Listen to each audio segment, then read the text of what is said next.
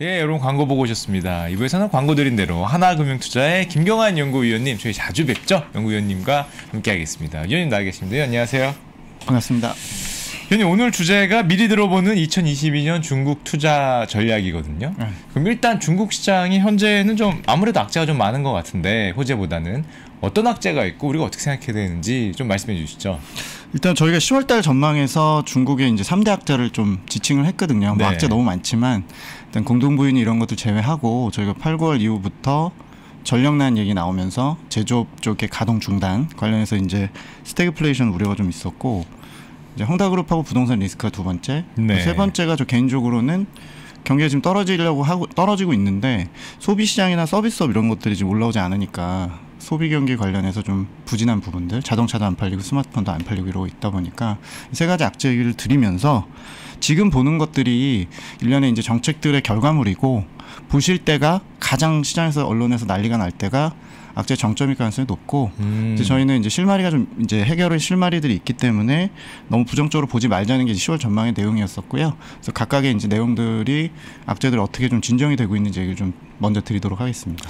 뭐 순서대로 한번 가보시죠, 위원님. 말씀하신 주신 대로 이제 전력 대란 이슈 얼마 전까지 뭐 중국발 공급 충격, 뭐 중국이 셧다운된다, 네. 뭐 공장도 뭐 문을 닫고 있다 네. 이런 얘기들이 많이 있었는데 이 이슈는 어떻게 됐나요? 그러니까 이게 저희가 그 어떤 오- 올해 원인을 찾아보면은 이렇게까지 전기 공급이 부족하거나 혹은 의도적으로 꺼진 것들은 결과적으로 상반기에 수요가 굉장히 좋았고 네. 전력 공급 대비 전력 소비량이 압도적으로 많았기 때문에 과부하가 걸렸고 이제 9월 이후에 중국에서 뭐 이런 공급 차질이 생기고 공장이 꺼진 이유 중에 상당 부분은 이제 의도치 않게 예, 석탄 가격이 오르고 화력 발전소들이 뻗고 해서 이제 의도치 않게 생긴 문제하고 의도한 부분도 있다. 그래서 지난번 이제 슈카님 뵀을 때 잠깐 말씀을 드렸지만 중국이 에너지 소비 통제를 한답시고 약간 이제 지방 관료들에게 푸시를 가했고 네. 9월 달에 이제 그런 의도에서 끈 부분이 있었습니다. 그래서 지금 확인하셔야 되는 것들은 의도치 않게 이제 꺼진 것들은 결국에 화력 발전의 문제고 화력 발전의 문제는 석탄 가격이 주도한 것들이니까 중국의 이제 연료통 가격 같은 걸 제가 텔레그램 이런 데 계속 올리고 있는데 일단 다행히도 국경절 연휴 7, 10월 7일 8일 좀 끝나고 한 2주 동안은 정부가 이제 어떤 공급 전략이나 석탄 값을 안정화시키겠다 대책을 얘기했는데 연전 연패했죠. 시장이 계속 이겼고요. 네. 어, 성- 상품 선물 시장에서 뭐 계속 상한가를 치고 가격이 계속적으로 폭등을 하다가 지난 3일 전부터 어, 결국에는 시장화된 방식으로 한다 그러다가 어, 저승사자들이 닥쳤죠. 그 중국의 NDRC라는 이제 부처에서 직접 정주에 있는 거래소라든지 네. 이런 데 가가지고 뭐 공항국도 같이 가서 투기 세력 때려 잡겠다고 얘기를 하면서 어, 지금 3일 연속 하한가를 다시 맞기 시작을 했습니다. 어, 상품 가격이 오르니까 우리가 생각하기에는 상품을 늘리거나 뭐 아니면 비축한 걸 풀거나 그게 아니라 정부 관리들이 거래소에 가서 때려잡아서 하한가가 나온 건가요? 그러니까 최종적으로는 그렇죠. 최종적으로 예. 그런데 이제 올해 들어서 석탄 공급이 전년비 4%밖에 증가하지 않고 전력 소비나 공급량은 13% 14%씩 늘다 보니까 석탄 공급을 늘리는 게 지금 제일 중요한 일이었거든요. 예. 근데 석탄 공급을 갑자기 늘릴 수는 없고 이제 종종의 이유로 이제 못 늘렸다가 최근에 이제 늘린다고 10월 달부터 하고는 있는데 그게 원활하게 이제 연료탄 쪽에서 가격이 안 내려왔던 거죠. 그래서 투기 세력 잡겠다고 하면서 굉장히 좀 강압적인 소위 말해 좀 중국 스타일로 하면서 일단은 오늘도 뭐 시작하자마자 하한가로 가고 네. 이제 그런 식으로 이제 야간하고 주간 시장이 두 가지가 있는데 일단 3일 연속 잡히고는 있습니다. 저는 연료탄 가격이 빠져야 중국의 상품 가격도 빠지는 실마리라고 볼 수 있는 게 가동이 중단되면 될수록 8, 9월 달에도 보시면은 최근에 뭐 마그네슘 이슈도 있고 공급 그 대란이 있는다고 하는 그런 품목들은 결국에는 가동이 중단되니까 더 악순환으로 가격이 올랐던 거거든요. 예. 그러면 화력 발전소가 돌아가서 가동이 다시 재개가 된다면 공급이 느는 거고 그 징후로서 이제 석탄 가격을 꼭 보셔야 되는데 일단 다행히도 그건 좀 빠지기 시작을 했다. 두 번째 조치는 화력 발전소들이 제가 뻗었다고 표현을 드렸는데 당연히 연료탄 가격이 톤당 500위안에서 600위안 정도가 이제 손익분기점인데 지금 2,000위안까지 갔었었거든요. 어우, 세 배가 넘었네요. 네, 세네 배가 넘 으니까 얘는 이제 화력 발전소 입장에서는 그냥 뭐 할 때마다 당연히 손해 자체가 너무 커지다 보니까 8월부터 이제 어 가동이 이제 동기부여 확 떨어진 거죠. 그래서 중정부 최근에 어, 사실은 전기료 인상을 이제 시작을 했죠. 이 전기료 인상을 내년에 저희 전망할 때 꼭 보셔야 되는 것 중에 하나가 중국이 10년 동안 전기료를 올린 적이 없고요. 네. 오, 10년간 안 올리는 게 가능합니까? 그러니까 사실상 중국 정부가 그 가이드라인을 하고 있는 상하 제한 폭이 10%씩 있었는데 네.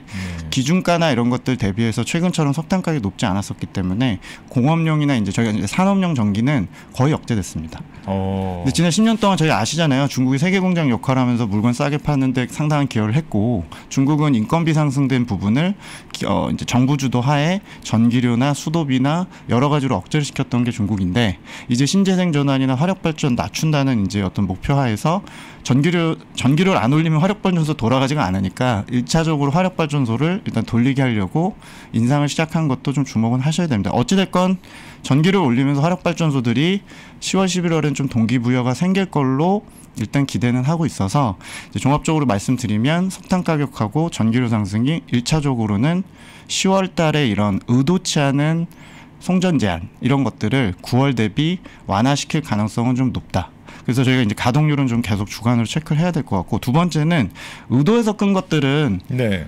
정부가 이미 메시지를 보낸 게 리커 창 총리가 요새 너무 급하니까 지방 관료들한테 이제 사실은 이중 메시지를 보낸 거거든요. 하나는 탈탄소니 뭐니 하면서 너희들 상반기 에너지 소비 감축해라라고 그렇게 정말 소위 말해 좀 굉장히 그렇게 세게 쪼다, 쫀 다음에 이제 와서는 문제가 생기니까 강제로 또 그렇게 공장 끄지 말아라고 메시지를 최근에 보내고 있거든요. 그래서 제 생각엔 분기 말 지방 관료 평가 때문에 이제 이런 무슨 뭐 알루미늄이니 마그네슘이니 등등의 이런 것들 전기 소비 많이 한 것들을 껐었는데 켜지는 징후가 지금 보이고는 있습니다. 그래서 제가 어제도 이제 시장에 코멘트를 한 것 중에 요새 뭐 자동차 칩 부족도 문제인데 마그네슘 같은 것들이 중국의 산 서, 서- 섬서성이라는 지역에서 생산이 되는데 얘네 가격이 폭등을 했고 폐광이나 이런 이제 그 공장이 문을 닫아서 앞으로 칩이 확보가 돼도 알루미늄 만드는 데 있어서 중요한 원료인 마그네슘이 없어서 뭐 자동차에 이제 가동이 못 올라온다 이런 뉴스들이 좀 있었습니다. 근데 이제 마그네슘의 경우도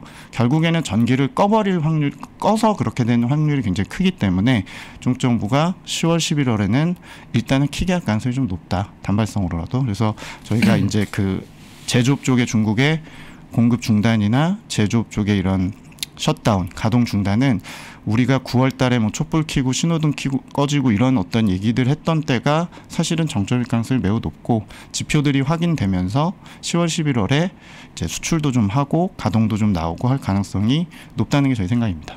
어, 보통은 이번 겨울이 만약에 추워버리면 네. 석탄 가격이나 뭐 천연가스 가격이 또는 뭐 기름 가격이 지금보다 더 올라갈 수도 있고 그때가 정점이 아니냐고 생각을 많이 하셨는데 음. 아직 겨울이 오지도 않았는데 이 정- 중국 정부가 나서서 뭔가 적극적인 액션을 취하니까 오히려 그때가 좀 정점으로 보는 게 좀 앞으로 좀 나아질 걸로 보는 게 맞다라고 생각하신다는 거죠? 어, 그러니까 저는 기본적으로 제조업 입장에서 좀 보는 편이에요. 그러니까 제조업이 전기를 제일 많이 쓰고 70% 정도 올해 전기를 공업용으로 썼기 때문에 2차 산업을 주로 많이 보고 지금 어, 슈카님 얘기하신 그 에너지 대란 관련된 이제 난방 시즌호 이런 거는 아무래도 주거용이라든지 이런 쪽이 네. 좀 많을 텐데 저는 이제 그쪽은 이제 후순위로 보는 거고 제조업이 꺼질 만큼의 상황까지 오는 거는 결국에는 전력이 꼭 부족했다기보다 지역별로 편차가 너무 크고 미스매칭이라는 게 많이 나서 화력 발전이 발전이 쇼티지가 난 게 제일 크다고 봅니다. 예를 들면 지금 성별로 중국을 보시면은 어떤 성들은 그 수급 그러니까 그 발전량 대비 소비량 비율이 180%도 되는 지역들이 있어요. 네. 그런 지역은 그냥 의도적으로 끈 거고요. 전기는 남아 도는데. 근데 예를 들어 최근에 뭐 신호등 꺼졌다 이런 얘기가 나왔던 중국의 흥- 흥룡강성이나 뭐 이런 동북삼성은 실제로 소비 비율이 이제 70%밖에 안 돼서 공급이 되게 부족합니다. 그래서 저는 개인적으로 난방 시즌은 큰 상관은 없고 큰뭐 상관은 LNG 없고. 가격이나 예, 일부 예. 특수 품목에 영향을 주지만 공장이 더 꺼지는 문제에 대한 이제 시장의 걱정 그게 제일 크다고 저는 보거든요. 뭐 tech, 자동차, 또 조선소가 꺼지고 화학이 더 꺼져서 가격이 더 오르고 이런 것들은 지금 보고 계신 현재 시점이 정점일 가능성이 굉장히 매우 높다라고 투자 전략으로 음. 말씀드리고 있습니다. 예, 알겠습니다. 뭐 전력 대란은 뭐 그렇게 저희가 이해하면 되겠고요. 네. 그럼 좀두 번째 얘기를 이제 말씀해 주신 게 헝다그룹과 이제 부동산 리스크인데 음. 뭐 헝다그룹 오늘 상장을 다시 다시 시장 재개가 됐는데 네.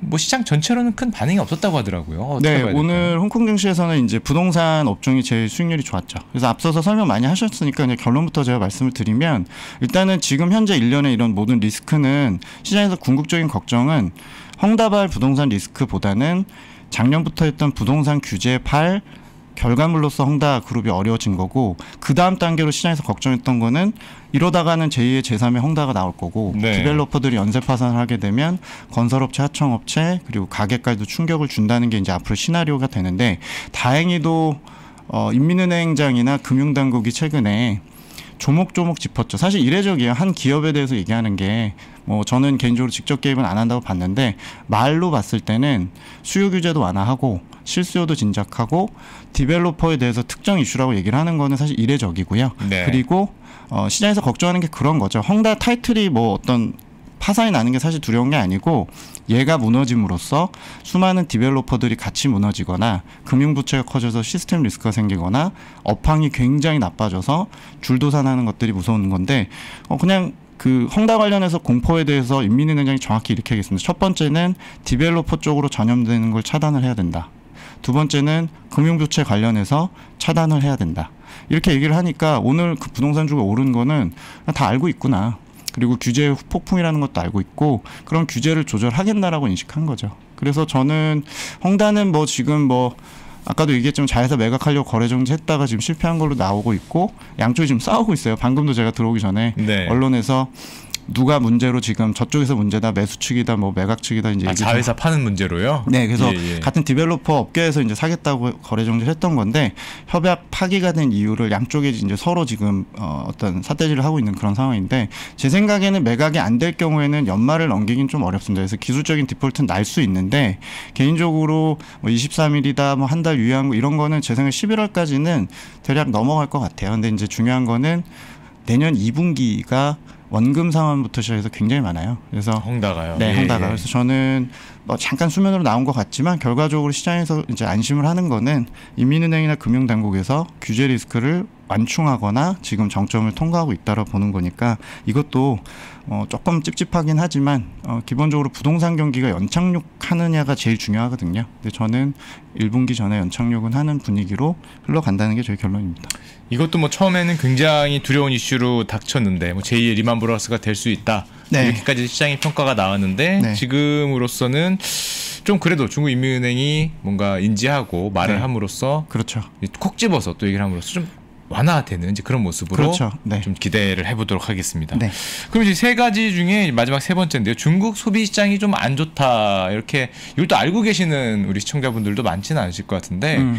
뭐 저야 뭐 화장품 주- 품 주가로 우리나라 화장품이 중국에 잘 안 되는구나 요즘에 음. 이런 생각이 많이 들었는데 중국 소비 시장이 좀 안 좋나 봐요. 어떻던가요? 예. 어, 중국 소비 시장이 지금 이제 작년부터 올해까지 중국의 수출이나 부동산 경기 사실 좋았었고 네. 그다음 이제 바톤을 내수가 후행해서 이제 이제 건네받는 게 중요한 건데 저도 중국 정부가 올해 정부를 정책을 부양책을 너무 안 써서 사실은 소비를 요새 보고 있으면은 우리나라보다 체감적으로 더 나쁩니다. 그러니까 소매 판매는 수치로 제가 말씀드리면 중국 성장률이 지금 2분 3분기 기준으로 4.9% 정도 예. 나왔거든요. 그래서 기준선 한 5% 보시면 되고요.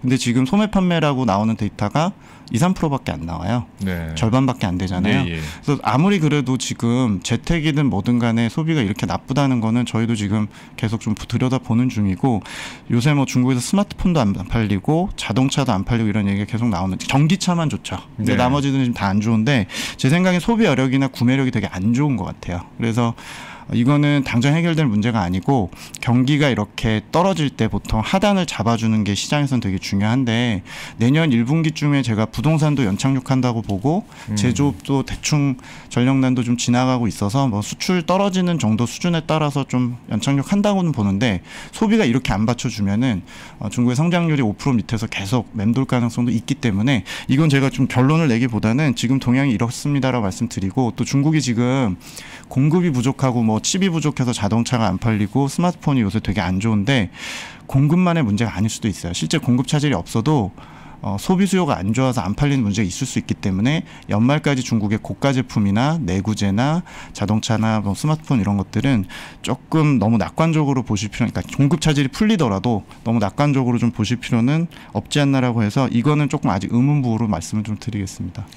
중국 같은 경우가 5%가 보통 말씀해 네. 주신 대로 기준 성장률인데 3분기 성장률이 5%가 넘지 깨졌죠. 않았죠. 그런데 깨졌죠. 네. 또 소비도 부진하다 그러면 음. 중국이 얼마 전부터 제가 뭐 느끼기에는 뭐 내수 창출 뭐 내수 내수 그러는데 음.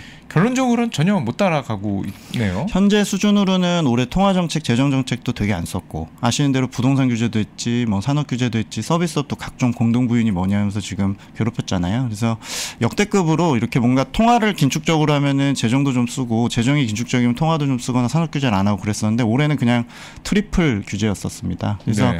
제가 이제 내년의 전망으로서 한 축 중에 하나는 지금 모든 보신 악재들이나 지금도 소비를 얘기를 하고 있지만 전반적으로 이제 반대로 되돌리는 거를 좀 지켜볼 수 있는 게 그나마 가장 큰 기대 요인이에요. 여기서 더 하려면 5%가 이제 계속 깨지는 거니까 네. 하한선은 지키는 전략은 쓰니까 이제 그런 거에 대한 얘기인 거고요. 저도 4분기에 중국 정부가 만약에 뭐 내구재 소비 부양책이나 추가적으로 재정 정책을 안 낸다면 소비 관련된 리스크는 좀 있다고 생각을 합니다. 이게 왜 연계가 되냐면 아까 알리바바 얘기도 하시고 전자상 거래나 이런 얘기를 하고 저희가 이제 광군제라고 해서 11월 쇼핑 시즌도 있는데 그렇죠. 예. 예. 뭐 재택에서 뭐 언택으로 소비하는 건 괜찮은 것 같아요. 이번에 국경절 연휴도 보면은 괜찮은 데 전체로 구매력이 나빠서 이렇게 소비 지표가 안 나오는 거면은 중국 소비주나 전자상 거래들이 이제 규제도 대충 저도 피크는 지났다고 이제 보고 있는데 데이터가 안 나올 수도 있잖아요. 네. 네, 그래서 이제 그런 거는 4분기에 전력난도 좀 지나가고 황다도 지나가면 이제 개별 기업이나 산업 보실 때 소비 지표나 이런 것도 좀 유심히 보시기를 말씀을 좀 드리고 드리려고 합니다. 네. 알겠습니다. 그러면은 뭐 지금까지 2021년 중국은 사실 올해는 악재의 한 해다라고 이제 결론 지을 수 있을 것 같은데 현재까지는 네. 2022년 중국은 좀 어느 방향으로 갈까요? 어 일단 몇 가지 가정을 어차피 또 틀리겠지만 예. 가정을 좀 드리고 싶은 게 일단은 올해는 역대급 규제, 역대급 타이탄 정책, 아주 짠물 거시 운영. 네. 그래서 제가 이제 명 이제 어떤 정의하기로는 중국 정부가 지난 2년 동안 특히 팬데믹 이후에는 본인들의 약점을 커버하는데 너무 집착한 것 같아요. 예를 들면 에너지 쪽에서 석탄이 약점이고 네. 또 부채 문제에선 부동산 리스크가 제일 큰 거고 공동부유도 결국에는 얘네들이 정치가 시스템이 무너지는 게 제일 두려울 텐데 양극화를 해소시키는 게 제일 중요하잖아요. 그래서 일단은 선부양보다는 선 시스템 구축인 것 같아서 내년은 제가 어떻게 제목을 좀 정하려고 하냐면 이제 세팅과 빌드업을 했고 내년에는 이제 휴직이나 혹은 이제 어느 정도 세팅을 해서 신재생으로 몰아간다, 뭐 규제로 몰아간 다음에 이제 딱 틀을 쳐놓고 이제는 모니터링을 하겠죠. 그래서 저는 이제 시장 입장에서 이제 극단적으로 정책 공포를 느꼈던 거는 세팅할 때고 내년의 경우는 일단은 얘네들이 부작용을 좀 수습하고 어느 정도는 좀 관망하는 시즌으로 보고요. 그리고 좀 특징적인 얘기를 내년에 드리면 내년이 이제 시진핑 만기 10년이잖아요. 네. 내년 11월 달이 가장 큰 뉴스죠. 시진핑 큰 뉴스죠. 4년. 아마 예, 예. 뭐 상반기에 동계올림픽 있지만 사실 저는 그 이벤트는 크게 안 보고 어, 하반기 11월 달에 있는 3기 지도부의 출범 여부 11년 차가 되느냐를 이제 주목을 하셔야 되고 통상적으로는 10년 차일 때는 규제를 좀 수습을 했었습니다. 이거는 과거 역대적으로 좀 그랬기 때문에 제가 부양을 말씀드리는 건 아니고 올해 뭐 역대급 세팅을 했기 때문에 그 이후에 공포감 완화되는 게 저희 생각이고 14차 5개년 계획이 올해 1년 차였고요. 네. 내년이 2년 차기 때문에 통상적으로는 정책이 집행이 되는 뭐 예를 들어 5G든 신재생 투자든 풍력이든 ESS 투자든 신형 인프라 이런 것들이 전체적으로 내년에 좀 집행되는 특징이 있고 올해 너무 짰으니까 내년에 정상적으로만 돌아와도 아마 체감적으로는 아 중국 때문에 매일매일 이걸 악재를 봐야 되는 것들은 좀 진정이 된다는 게 기본 가정입니다.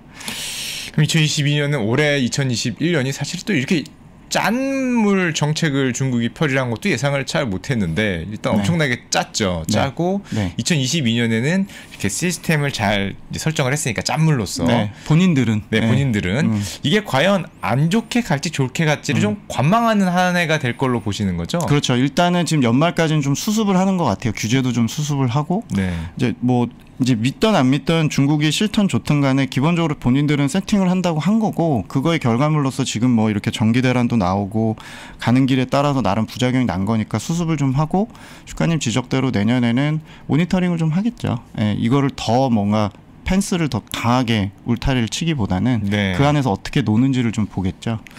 그러면은 저희가 2020년 중국을 그렇게 예상을 한다면 네. 이런 중국에서 제가 투자 아이디어를 좀 얻으려면 어느 쪽을 좀 주의 깊게 봐야 될까요? 일단은 여전히 내년에도 정책을 보셔야 되는데 정책의 방향성 몇 가지만 시간 관계상 좀 짧게 말씀드리면 공동부유 정책 좀 요새 조금 다시 화두는 아니었는데 네. 요새 최근에 중국이 부동산세, 종부세 도입한다고 얘기가 많아요.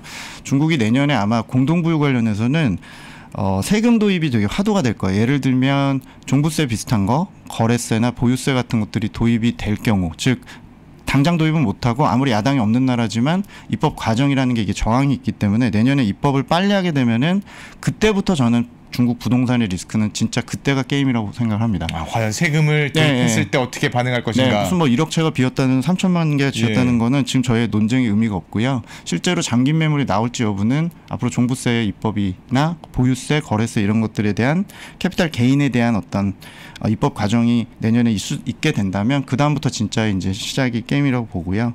소비세 좀 주목하셔야 될 것 같아요. 최근에 소비세 때문에 뭐 중국의 마오타이 같은 고가 주류 업체들 소위 빼갈 주식들이 많이 빠졌거든요. 네, 백주주. 네, 예, 예. 중국이 지금 소비세의 경우는 한 15%나 10% 적용도 되고 이게 왜 영향이 크냐면 결국엔 양극화 줄인다고 그러고 중산층 입장에서 상대적으로 이제 어떤 세원을 돌려주고 이러려면 고가 제품에 대해서 이제 물릴 수 있거든요. 사실 중국은 지금 화장품도 소비세가 낮은 편이고 상대적으로 저희가 명품도 그렇고 luxury도 그렇습니다. 그래서 중국에서 꼭 좀 주목하셔야 되는 거는 소비세나 사치세 도입 가능성이 내년 있기 때문에 중국 global player 중에 중국에 노출도가 많은 럭셔리 관련된 기업들이나 이런 쪽은 사실 저는 경계를 좀 해야 된다. 그러니까 올해만큼의 이런 악재들이 빈발하진 않겠지만 지네들이 세세하게 내년에 세금 정책을 좀 쓸 것 같으니 공동부유 정책에서 조금 피해주와 수혜주를 좀 찾자는 게 첫 번째 아이디어고 두 번째는 음. 아까 에너지 정책 얘기를 좀 드렸는데 결국에 앞으로 중국 2, 3, 중국은 2, 3년 동안 이를 악물고 어찌됐건 신재생 투자를 강요할 거예요. 석탄 비중을 낮추거나 너희들이 올해처럼 의도치 않게 이렇게 셧다운이 안 되려면 무조건 대출해 줄 테니까 신재생 투자해라라고 강요를 할 거고 제 생각에는 그렇다고 해서 그럼 무조건 태양광 풍력도 좋지만 내년엔 ESS나 어떤 특과업 설비나 여러 가지 이런 송배전 설비 이런 쪽에 투자 기회들이 꽤 있기 때문에 중국이 정말 이렇게 하는 부분에서 고민을 좀 해봐야 될 것 같고 전기료가 인상된다는 부분에서도 그 10년 만이기 때문에 중국이 전기료 상승을 했을 때 특히나 중국이 그 철강이나 비철이나 화학 제품에 대해서 전기료를 따로 책정하라고 지금 얘기를 해서 상한선을 10%에서 20%로 대부분 올렸는데 그 전기료 인상 폭을 근데 무제한으로 터놨습니다. 어. 그러니까 만약에 나중에 전력난 이슈가 좀 지나가면 제가 지방 관료라면 전해 알루미늄이나 아까 말씀드린 화학 제품이나 뭐 마그네슘이나 여러 품목의 에너지를 많이 쓸 경우에는 40% 50%도 올릴 수 있는 거거든요. 전기료를요? 이론적으로. 네, 전기료를. 예, 예. 그 특정 산업들은 설비를 고도화하거나 어떤 다른 신재생 투자를 하지 않으면 사실상 고사되는 거죠. 그래서 저는 이제 앞으로 2, 3년 동안 시즌별로 이렇게 중국이 자주 송전 제한이 발생하고 공급 제한이 생기고 특정 품목들은 계속적으로 쇼티지가 나는 현상들도 계속 고민을 해야 되고 역시 중국의 투자 아이디어로서 신재생은 내년에 그냥 정해진 답이고요. 내년에 14차 5개년 계획이 2년 차이기 때문에 신재생 관련주들 중국에서 수소든 ESS든 해상풍력이든 풍력 관련주, 뭐 태양광 관련주들은 계속적으로 조정 시에는 관심을 꼭 갖고 보시는 게 중요할 것 같고요. 마지막으로 저는 미중 관계도 내년에 좀 개선이 있을 걸로 보거든요. 그러니까 뭐 투자 아이디어라기보다는 지난 4년 동안 지금 무역 쪽에서는 네. 전혀 개선 여지가 없었었잖아요. 근데 중국 뉴스 요새 관심 있으시면 류호 부총리하고 USTR의 이제 타이 대만계 타이 대표랑 계속 통화를 하고 있어요. 지금 제가 보기엔 기싸움 중이거든요. 양쪽 다 필요성을 느끼는 거는 상호 간의 보복 관세율이 지금 25%인데 네. 지금 공급망 때문에 이 난리가 나서 지금 글로벌 인플레가 이렇게 난리인데 사실은 관세 배제 프로그램이라는 걸 가동할 것 같습니다. 그래서 겉으로는 트럼프 때 걸 유지하는 것 같아 보여도 결국 실속, 실상으로는 배제하는 관세를 배제하는 프로그램을 연말 안에 도입할 가능성이 굉장히 높아 보이고 그래서 이제 미중 관계는 약간 스윙 팩터처럼 내년에 조금 기대 안 했었는데 4년 만에 드디어 관세가 내려가네. 네. 교역량이 좀 좋아지네 이런 쪽에 좀 upside 요인으로 좀 그러니까 좀 좋은 이슈로 제시를 좀 해드리고요. 예. 그래서 전체적으로 내년에 꼭 주목하셔야 되는 거는 에너지 쪽이나 어 그 공동부유 정책의 세원 쪽이나 미중 관계 이런 것들을 좀 정책 환경으로 보고는 있습니다. 예, 뭐 이슈가 많네요. 뭐 부동산세도 네. 그렇고 그다음에 소비세 관련해서 만약에 정말 luxury세 이런 거를 도입을 해버리면 또 명품주나 뭐 고급 화장품들은 타격을 좀 받을 수도 있고 음. 방금 말씀해 주신 것 중에 가장 인상적이었던 단어는 재생에너지는 사실 결정된 답이다. 음. 뭐 전기료를 올려버리면은 음. 특, 특히 특정 기업에 대해서 너희가 뭐 일정 이상 썼을 때 분야 품목에 예, 대해서 기업에 분야나 대해서 품목의 전기료가 네, 맞습니다. 뭐50% 두 배 막 이렇게 올려버리면 그 네. 기업들은 고사할 테니까 네. 신재생 에너지 쪽의 수요는 굉장히 크게 네. 늘고 그 어차피 설치할 수밖에 없고 네. 그러면 네. 남는 전기들 충전하는 그 보관소 ESS 같은 네. 것들의 수요는 네. 또 되게 크게 굉장히 크게 늘 것이고 네, 네.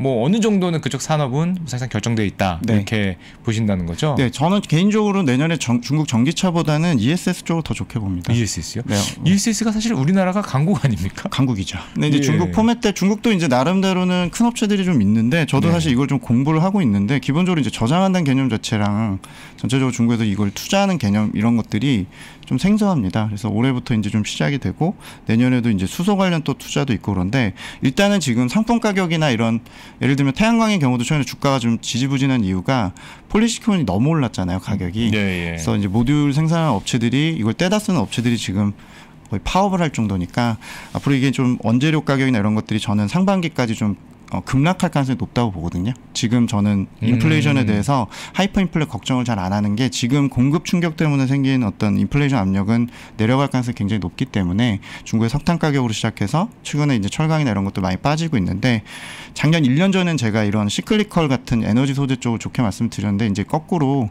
빠질 음, 수 있다. 네, 상반기까지 예. 좀 빠질 거니까 그거 때문에 떼다 써야 돼서 걱정이 많았던 기업들을 보시면 됩니다. 역으로. 음, 그러니까 이제 오히려 예, 원재료 예. 가격이 좋아지면 조선이 좋아질 수 있고 뭐 건설 업체들이나 중국 내에서의 경우라면 전방에 있는 tech 기업들이나 뭐 지금 말씀드리고 있는 신형 인프라 관련된 ESS나 혹은 이런 태양광 업체들 이런 애들이 결국 원재료 가격 내려가게 될 경우에는 수혜를 보는 전방 산업으로 좀 보실 수 있을 것 같아요. 오히려 뭐 원자 원자재 때문에 비용 압박에 시달리던 기업들이 네. 이제는 좀 수혜를 받을 수 있는 그런 사이클로 넘어갈 가능성이 있다. 내년이. 그렇습니다. 내년이 상반기에, 그렇다. 예, 상반기에 그렇게 보고 상반기에 있습니다. 네. 예 알겠습니다. 네. 마지막으로 미국과 중국은 서로 그렇게 잡, 잡아먹을 듯이 싸우더니 뒤로는 또 관세 그 협약을 또 이렇게 슬슬 하고 있었네요. 제가 보기에는 좀 컨택이 많이 늘어나는 티가 좀 나고요. 그래서 네. 내년에도 분명히 뭐 테크나 여러 가지 인권 규제 이런 건 하겠죠. 근데 이제 제 생각에 금융 분야하고 서비스업 개방 쪽은 중국이 종용하는 것 같고 네. 제가 이제 마지막으로 말씀드리면 위안화가 최근에 좀 되게 강세인데 그냥 제 뇌피셜이지만 약간 모종의 개방을 하게 되면 결국에 중국도 위안화 강세를 계속 용인하는 방향이다 보니까 내년에 이제 위안화 역시도 저는 좀 안정적으로 보고 있고요. 그래서 어, 무역하고 금융시장하고 서비스업 개방은 양쪽이 겉으로는 그래도 죽이 좀잘 맞을 것 같다. 네. 이렇게 생각을 좀 합니다. 야, 바이든 시대는 확실히 트럼프 시대와는 또 다르게 트럼프 형은 정말 앞과 뒤가 똑같이 강했는데 이제 네. 앞으로 강했는데 뒤에는 네. 조금 중국이 유아스럽게 되게 무서워했죠. 아, 네. 예, 갈 수 있다. 예, 알겠습니다. 뭐, 우리 하나금융투자의 김경환 연구위원님이셨습니다. 이건 여기까지 듣겠습니다. 네, 감사합니다. 예, 저희 글로벌 라이브 2부에서는 중국 시장 오늘 올해 2021년 정말 어려움이 많았고 악재가 많았는데 한번 쭉 한번 살펴봤고 세 가지로 저희가 살펴봤죠. 그리고 2022년에는 또 우리가 어떤 거를 기대해야 되는지 상당히 구체적으로 말씀해 주지 않으셨나 생각을 합니다. 뭐 부동산세 아니면 뭐 사치세 또 뭐 재생에너지 이런 것까지 ESS 얘기까지 아마 많은 도움이 되셨지 않을까 생각을 하고요.